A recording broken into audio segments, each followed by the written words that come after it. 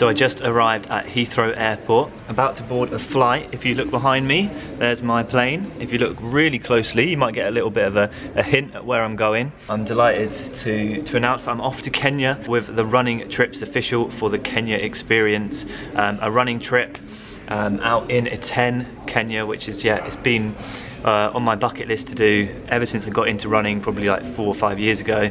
Um, I've wanted to go out to, to Iten um, to see the home of champions where the likes of Eliud Kipchoge train um, and some of the best runners in the world go out on, on training camps. So yeah, I'm really excited to be documenting the next uh, two weeks out in Kenya as I train towards the Boston Marathon. It's going to be one hell of a journey and I'm going to take you along with me and document it uh, in a bit of a daily vlog style. So today's video will just be me flying from London out to Kenya. Um, it's about an eight hour, eight and a half hour flight. Um, they're just getting the plane ready now, putting all the baggage on there. And then yeah, we'll be boarding, fly to Nairobi overnight, and then from Nairobi I fly to Eldoret which is where uh, Iten is. If you want to check out uh, this experience that I'm going on, it's a package that's available through the running trips and I'll leave a link in the description of this video. If you're new to the channel then make sure you subscribe, subscribe for lots more uh, Kenya running content in the next few days.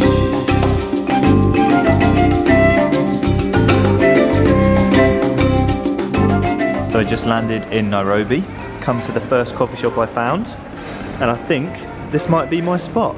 Um, I've got, what time is it now? Currently 6.13 in the morning. My flight to Eldoret isn't till 12 o'clock, so I've got a good four or five hours to kill. And I've come to this local breakfast spot. Let the camera focus. I've gone for whatever their, their full breakfast. Lovely little coffee with a swan on it and their mango juice. Interesting.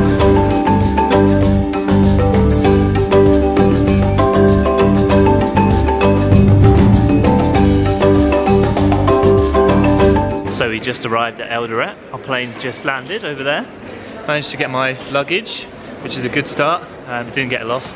But now we're going to go find our driver, um, going to take us from Eldoret up to, to Iten.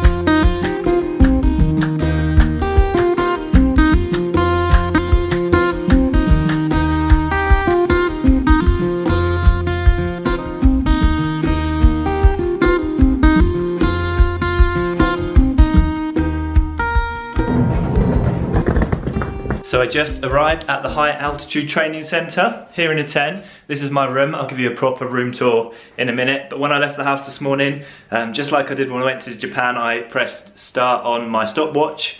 Now I'm going to stop it. 23 hours and 25 minutes uh, to get here. It was about an hour drive uh, in the in the van from the airport. It looks like there's a really nice group of people. I was already chatting to to some of them uh, on the way on the way here from the UK, from America, from Italy, uh, from from all over the place. So yeah, it's going to be a really good mix of people. Also seems a good mix of, of ability and ages as well. So this isn't a camp just for sort of like professional running runners. It's for anyone, any abilities, any ages. That it sort of caters for everyone. So yeah, I'm really looking forward to getting stuck in. I've literally just chucked my bags in my room and I'm going to go meet everyone at the food hall. Let me give you a little bit of a room tour. So these are the little residents here. We'll start outside and go in through the door. And we've got ourselves a little cupboard. Literally haven't unpacked at all yet. So yeah, cupboard, bit of storage, little desk. How many plug sockets have we got? I haven't even looked yet, probably just the one. But I brought an extension lead as recommended. Uh, I've got my own little bathroom and toilet there's a shower in here and toilet behind the door. It's nice to have my own, but there is communal ones as well. Um, so yeah, that's my room. Pretty basic, um, but yeah, should do the trick for the next two weeks. Can't believe I'm here for two weeks. It's going to be incredible. Um, the the actual high altitude training centre is uh, the compound is locked up, so you don't really have to worry about locking your rooms and stuff. I probably will, but um, yeah, it seems pretty pretty relaxed in terms of um, security. We've got some toilets here, uh, men's there, ladies here, through here. So we go out this gate here, and the main camp is just over here. there's the famous sign. Welcome to the High Altitude Training Centre in Iten, home of champions. And then we cross over the road into the main camp here. And I'll show you the gym. Gym is just down here. We've got a swimming pool. There's no one there at the moment, so I don't have to worry about privacy. Um, yeah, that's the swimming pool. And this here is the sort of main hangout area. There's a little library and a place to do to do work if you want to. Down here we have the gym. We've got an area in here where the, they do some classes. Um, I was told we're going to do some some core work. Let me show you through this window quickly. Um, yeah, just your, your normal gym. And then on this side we've got a bit more of a, a bit more equipment. So we've got a few treadmills, some strength stuff. Nobody in here at the moment. A couple of treadmills, spin bike. So yeah, that's the that's the gym. Um, there's also a little sauna in here. I haven't had a proper look myself really, so um, yeah, let's have a little look. Before I do that, let me show you who has stayed at the High Altitude Training Centre at the same time. Here we got Paula Radcliffe and Mo Farah at that sign that I just showed you there. Um, some other athletes that have been here. It's pretty cool. And this is the the running map here. So um, around the around the area. That's where the routes we're going to be running over the next few days. In here we got some showers. So after the gym we can come in here, and we've also got a sauna in there. Very nice. So get up these steps. Pool is up there. This is the main library area, and the sort of the main meeting place where we're going to do all our sort of seminars and stuff. And here is the sort of main chill out area there we've got the Banner Kenya experience. So we're going to meet here at five o'clock. So in about two hours.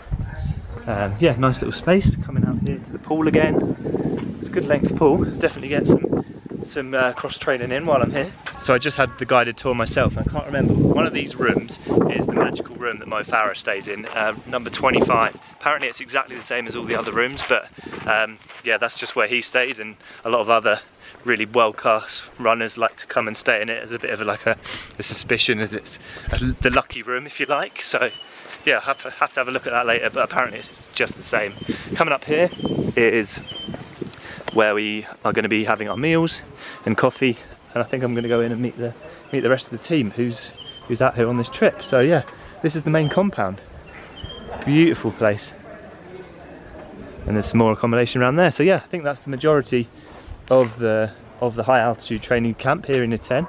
Um, and I'm here for the next two weeks. So yeah, I'm going to settle in and uh, yeah, get some good running in. So we just had our welcome introduction, um, and it is now 5:30. So we've got about an hour and a half until dinner. So I'm going to use this opportunity to go for my first run out in Kenya. Should be good. I'm going to go and see if anyone else um, on the trip wants to run as well. If not, I'm just going to go go and explore myself. Should be good.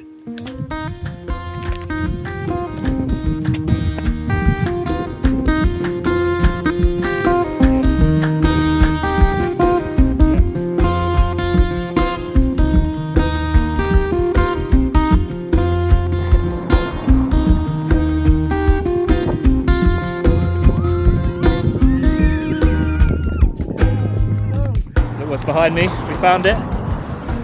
Welcome to Iten, the home of champions. Woo! Okay, so I just finished my first run at altitude, 10k, um, with a, one of the Italian guys who's also on the course. Um, he's a 30, 30 minute, 30 30 for, for 10k, so it was nice to, to share some miles with him. Um, we got ticking along at 424 per kilometre, so sort of usual easy pace in the UK. Um, but in terms of heart rate, uh, it was probably more of a tempo. So yeah, my running performance is saying 94% low running performance, which will be the, the no sleep and the altitude. What else have we got on here in terms of stats? Training focus threshold and average heart rate 161 for an easy run, which obviously is not an easy run. So we need to be taking it even easier than that over the next few days. But yeah, crazy. So just got freshened up after my run. Um, I'm now off to dinner. Dinner is at seven o'clock for everyone who is.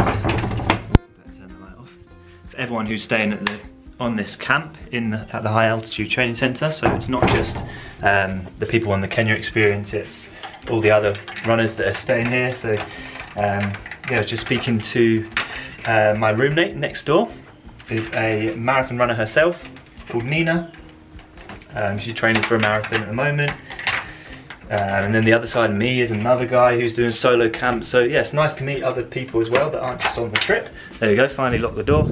Yeah, let's go find out what, what uh, dinner has, has to offer out in Kenya. So just got back from dinner. That was really nice. Um, didn't film too much. It's nice just to, to meet the rest of the group um, and enjoy some, some good food together. Um, first taste of ugali, which is um, pretty famous Kenyan staples, like a carbohydrate, um, stodgy, almost like porridge type thing. Um, not porridge, but it's like a cake made of starchy carbohydrate. Um, and it, yeah, it was pretty good. It wasn't wasn't bad. Um, and then we had some sort of like beef stew, um, some some vegetables and some rice. so yeah, pretty pretty good meal. A little bit on the bland side, but certainly enough to, to fuel the runs while we're over here. Um, but yeah, that's pretty much it for today. Um, I'm going to continue documenting this trip on a bit of a daily vlog format. Um, I'll try to keep them as, as regular as possible. Um, if you have any questions about the, the experience, then then leave them in the comments and I'll get back to you as soon as I can. But until next time, aspire to run, run to inspire, and we'll see you again soon.